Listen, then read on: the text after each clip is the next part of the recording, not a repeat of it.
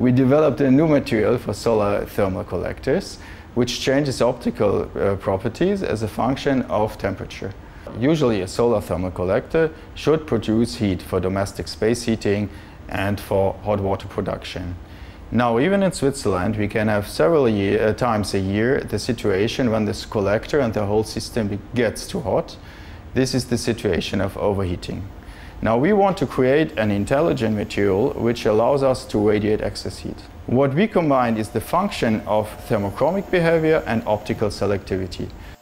A good solar absorber coating should absorb the solar radiation in the wavelength range between 250 nanometers to 2500 nanometers. Fortunately, the infrared radiation is not in the same spectral range.